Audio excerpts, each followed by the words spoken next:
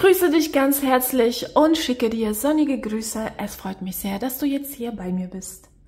Diese Legung, das ist eine Botschaft für genau jetzt. Du hast diese Botschaft gefunden, diese Botschaft hat dich gefunden und deswegen sollst du etwas hier erfahren. Vielleicht hast du eine Frage, vielleicht musst, möchtest du unbedingt etwas wissen über eine ganz bestimmte Angelegenheit, ja?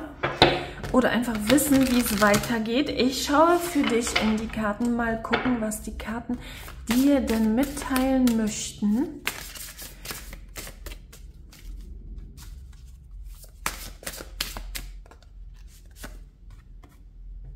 Es geht um den perfekten Zeitpunkt, um den richtigen Zeitpunkt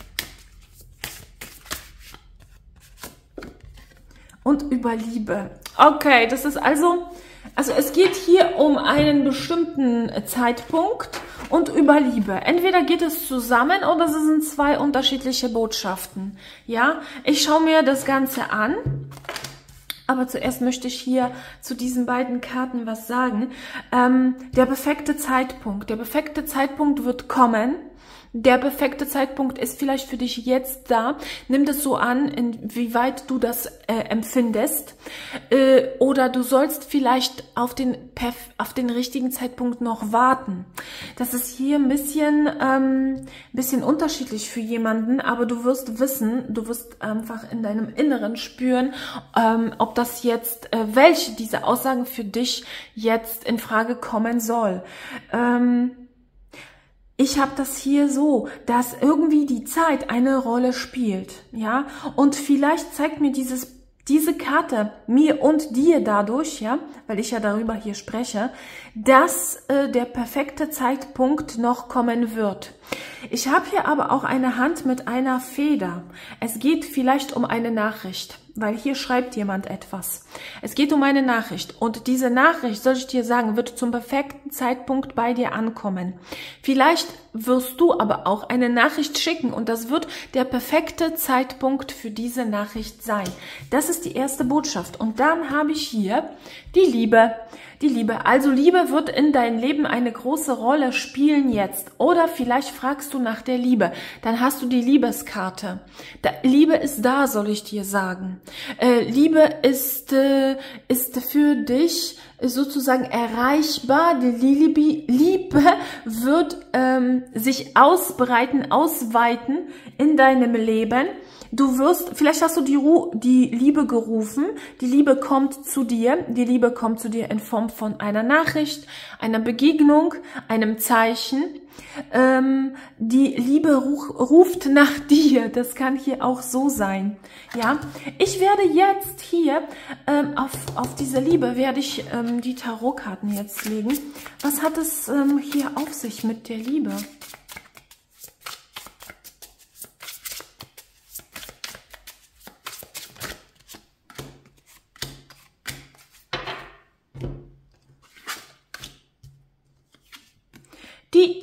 Der Kelche, der Turm und die sieben der Schwerter. Keine ähm, leichte, einfache Situation habe ich hier. Es ist nicht leicht, es ist nicht einfach. Irgendetwas ist passiert.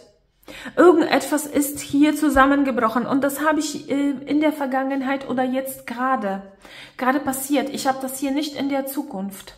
Denn die Zukunft sieht gut aus. Hier mm, im Hintergrund sieht man hier dieses ähm, wunderschöne, dieses wunderschöne Ambiente. Hier ist etwas kaputt gegangen, hier etwas zerstört worden, etwas ist zusammengebrochen, man wurde enttäuscht. Gar nicht mal so schlecht, dass man enttäuscht worden ist, denn man hat sich die ganze Zeit getäuscht, man hat etwas so gesehen, wie es nicht richtig war. Und jetzt hat man das gesehen, wie es ist, wie es tatsächlich ist, kann natürlich auch ein bisschen harsch sein, kann ein bisschen turbulent sein, dadurch, dass man jetzt das hier so sieht. Und ja, ich habe das hier so, dass das aufgrund dessen passiert ist, weil man hier eine etwas nicht angenommen hat. Es wurde etwas nicht angenommen. Jemand hat hier jemand was angeboten und dieses Angebot wurde ausgeschlagen oder man hat gar nicht gemerkt, dass dieses Angebot existiert. Das kann nämlich hier auch so sein, ja. Man wurde aber auch von irgendetwas anderem abgelenkt. Vielleicht hat man ähm, die, äh, dir etwas angeboten im Bereich der Liebe oder du hast jemanden im Bereich der Liebe etwas angeboten und die andere Person hat es gar nicht gemerkt, nicht gesehen oder in dem Moment kam hier etwas anderes angeflogen und die Aufmerksamkeit wurde von dir auf dieses andere abgezogen. Das kann hier auch so sein. Ähm, und naja, ich wundere mich nicht, warum der Turm dann hier ist. Aber ich habe das hier so, das ist ganz gut, denn jetzt weißt du Bescheid. Du weißt Bescheid. Und die sieben der Schwerter, ähm, entweder dieser Mensch hat sich dann zurückgezogen, hat sich dann verabschiedet, ähm, hat äh, dann sich ein bisschen komisch verhalten, oder du hast dich verabschiedet. Wenn mein Angebot nicht angenommen wird, wenn man mich verschmäht, wenn man mich nicht haben will, okay, dann gehe ich einfach weg, dann ziehe ich von dannen, ja? Sowas habe ich hier im Bereich der Liebe, aber was kommt jetzt?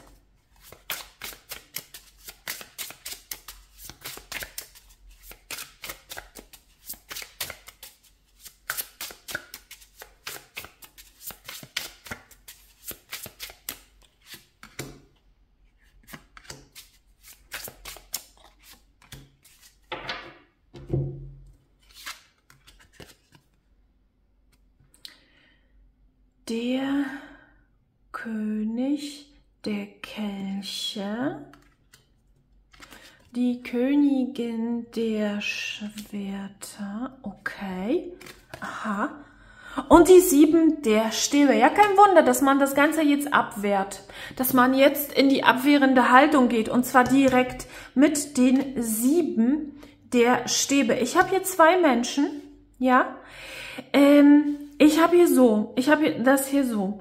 Also die Königin der Schwerter, die ist, ähm, die ist bisschen hin und her gerissen. Äh, der König der Kelche möchte, ähm, möchte sich jetzt einsetzen, möchte jetzt verspätet dieses Angebot annehmen, aber es kann jetzt schon zu spät sein, weil die Königin der Schwerter will vielleicht das nicht mehr, ähm, also das ist nicht mehr aktuell, ja, weil die, dadurch, dass es so abgelehnt worden ist, ähm, ist man schon verletzt worden, weil die Königin der Schwerter, sie ist jemand, der schon viel durchgemacht hat, viel mitgemacht hat, hat immer ein offenes Ohr für jeden, hat immer ein offenes Herz, aber mit einem Aber, wenn man sie verarscht, ja, wenn man sie verarscht, wenn man sie schlecht behandelt, wenn man äh, nicht mit ihr vernünftig umgeht, ja, wenn man sich einfach nicht gut verhält, dann macht sie zu. Und sie hat hier zugemacht, ja. Ich weiß nicht, die Königin der Schwerter, das kannst du sein. Und der König der Kelche, das kann zum Beispiel dein Gegenüber sein im Bereich der Liebe und die Liebe ist da oder man möchte die Liebe mit dir haben, der König der Kelche. Ich habe das hier nicht so, dass es Sternzeichen sind. Das ist einfach jetzt so diese Situation oder wie man innerlich jetzt eingestellt ist. Und der König der Kelche, das ist sozusagen dein Gegenüber und dein Gegenüber möchte jetzt, dreht sich jetzt zu dir und ist bereit. Aber die Königin der Schwerter ist jetzt nicht mehr bereit. Sie hat sich nämlich zurückgezogen und sie wehrt jetzt ab ist auf Distanz gegangen, wehrt jetzt ab und ähm, befürchtet, dass man das jetzt wieder nicht ehrlich meint, dass man das vielleicht jetzt nur so aus Lust und Laune annimmt und dann sich wieder wegdreht und dann sich wieder etwas anderem ähm, zuwendet. Tja, der König der Kelche hat hier hat sich hat sich hier zu etwas anderem ähm, zugewandt, hat sich äh, jemand anderen zugewandt, diesen diesem äh, fliegenden Pferd hier, ähm, Pegasus, ja. Aber so schnell wie der Pegasus da war, so schnell war der auch weg. Ja? Und man denkt sich jetzt, okay, das kann für einen Menschen stehen, das kann aber auch für eine Situation stehen, für irgendetwas anderes, was die Aufmerksamkeit auf sich gezogen hat. Und diese, dieses Angebot wurde einfach übersehen oder fallen gelassen, weil, oh, was fliegt denn da mich an? Oh, wow, was ist das, ja? Und dann war dieses Ding weg und jetzt, oh, dieses Angebot und jetzt, jetzt merkt man, was man da angerichtet hat oder was passiert ist und möchte jetzt, ähm, ja, hier das ähm, dir zeigen, dass, dass, dass man dich mag, äh, diese, diese Gefühle, dass die da sind oder jetzt sind sie da, man ist dir wohlgesonnen, man möchte, man ist jetzt offen für dich, das Herz ist jetzt offen für dich, ja, sowas habe ich hier, falls du das hier bist, vielleicht ist es aber auch umgekehrt, ja. Vielleicht hast du hier jemanden äh, das Herz gebrochen oder sich von jemanden abgewandt und wegen was anderem und jetzt kommst du auf diesen Menschen äh, zu und der Mensch ist aber nicht mehr so für dich da. Der Mensch ist nicht mehr so empfänglich für dich, für das Ganze. Naja, auf jeden Fall, wie gesagt, diese äh, Plätze können vertauscht werden. Schau einfach, wie das bei dir äh, resoniert, wie das so bei dir ist. Schreib mir vielleicht das in die Kommentare, welche Position du hier hast. Würde mich sehr interessieren. Ja, vielen lieben Dank an dieser Stelle für diese Info. Mm, und ja, die, schau mal, du hast zweimal die sieben. Also ähm, es könnte bei einigen, zum Beispiel bei dir schon so sein, so äh, die Chance ist weg dieses Angebot ist weg, du hast es nicht angenommen, ja, Pech, tschüss. Ähm, kann aber auch sein, naja, ich schaue mir das Ganze nochmal an, mal schauen, was du mir jetzt anzubieten hast, hast, ja. Das denkt sich hier die Königin der Schwerter. Also ich bemerke hier schon so eine Kälte. Man, man ist, äh, man hat das Ganze verarbeitet, man äh, geht weiter, ja, das Leben geht weiter, das ist ja hier keine Tragödie, die passiert ist, aber das hat schon hier irgendwie so ein bisschen was angerichtet, ja. Aber ich soll dir sagen, der König der Kelche ist jetzt da, ist jetzt bereit. Ob du das noch willst, das ist deine Sache, ja, falls du die Königin der Schwerter hier in dieser Legung bist. Ja, und äh, das, dieser, dieser Zeitpunkt, äh, der interessiert mich jetzt auch hier. Worum geht es da bei diesem, bei diesem Zeitpunkt? Ha, es geht um den Eremiten und es geht um die Mäßigkeit. Ja, vielleicht musst du noch ein bisschen warten. Ja, ich habe hier warten. Oder ich, ja, das Warten hat ein Ende. Das ist hier entweder so oder so. Ja, mu musst du einfach in dich hineinfühlen, spüren, was, wel welche Info für dich ähm, denn gedacht, gedacht ist. Denn ich habe hier den Eremiten und dieser Eremit zeigt mir, äh, der perfekte Zeitpunkt wird kommen, bald. Oder der perfekte Zeitpunkt hier mit der Mäßigkeit ist jetzt da. Äh, ja, die Karten. Wie gesagt, das ist eine allgemeine Legung und ähm, es gibt schon einige Menschen, die sich diese Legung anschauen und deswegen ist es hier nun mal so und die, die Karten zeigen es. Denn für jeden gibt es einen anderen perfekten Zeitpunkt. Aber das Wichtigste ist, dass du weißt, dass der perfekte Zeitpunkt da ist oder da sein wird. Das ist sehr wichtig für dich, ja. Das Licht am Ende des Tunnels wirst du sehen, soll ich dir sagen, das ist die Botschaft. Du wirst ähm, dein, deine, äh, dich gut fühlen, du wirst ähm, sehr schöne, angenehme Zeit noch haben mit dem perfekten Zeitpunkt. Es wird für dich alles da sein, was du brauchst. Ähm, die Mäßigkeit, alles wird sich ausgleichen, alles wird in Balance sein, du wirst dich gut fühlen, ähm, du wirst dich äh, sch schön fühlen, vielleicht sogar auch. Ähm, ich habe hier so eine, so eine angenehme, wohlige Stimmung, wird sich bei dir im Leben einstellen. Und wie gesagt, wenn du auf der Suche bist nach etwas oder jemanden, ähm, du wirst es finden. Du wirst es zu dem richtigen Zeitpunkt finden. Das sollst du jetzt unbedingt wissen. Ja, das ist die Botschaft. Diese Botschaft hat dich gesucht und sie hat dich jetzt hier bei dieser Legung gefunden. Das war die Botschaft für genau jetzt. Das war eine kurze Botschaft. Schreib mir in die Kommentare, vielleicht war das für dich wichtig, vielleicht war das für dich wichtig.